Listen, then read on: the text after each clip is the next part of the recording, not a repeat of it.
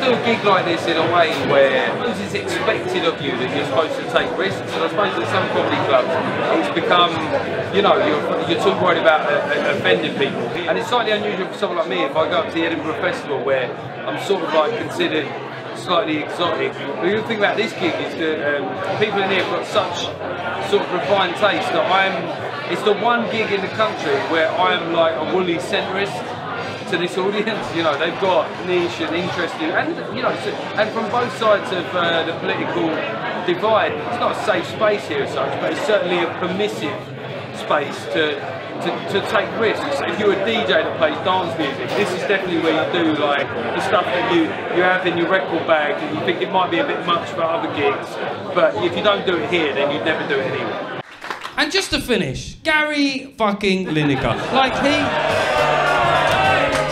I thought you guys might like that one.